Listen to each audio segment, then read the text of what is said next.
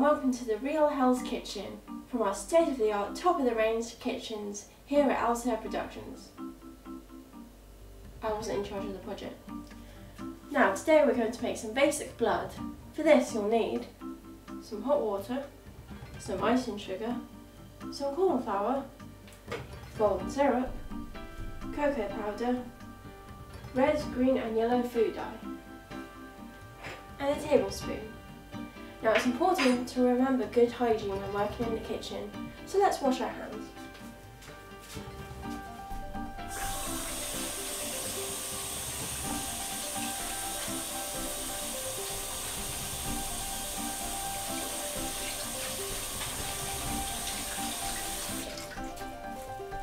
And dry them on a clean tea towel.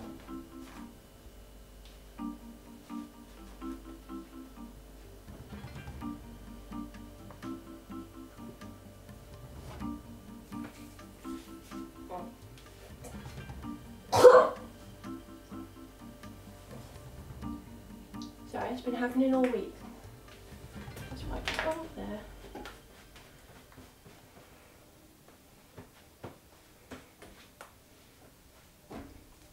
And let's continue. To begin with, you'll want 5 tablespoons of corn flour.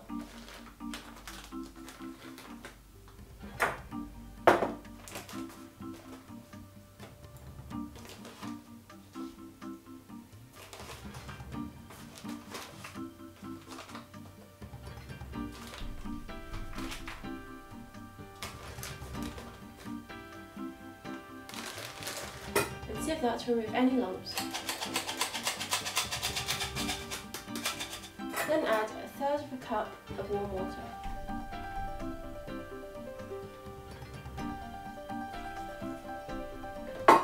And stir. Then add one tablespoon of cocoa powder.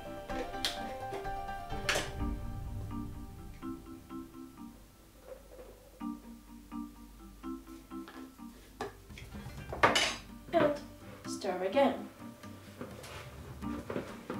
Then add two thirds of a cup of golden syrup.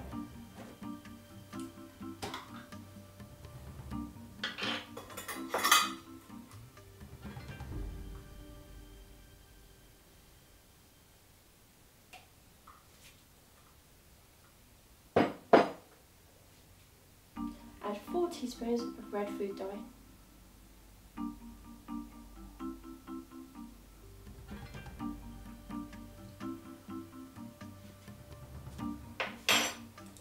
Guess what? Stir again. You may find this a little runny. If you want to thicken it, you can either add more corn flour or add icing sugar to make it taste yummy. And just sieve that in.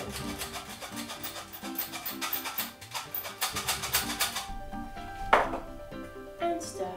To darken it, just add a couple of drops of green also, if you want to lighten it, just add a couple of drops of yellow. Also, when in the kitchen, it's advised to wear your hair back. Or make it in the food.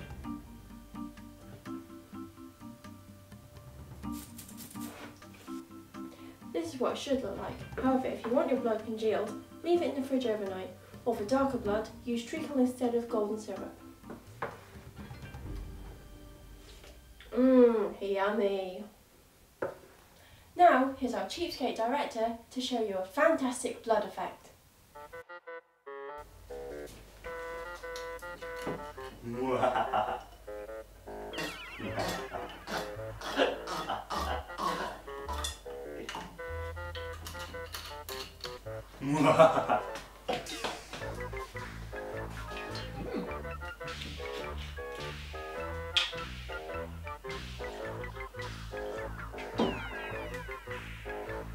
Looks like wine. Smells like wine.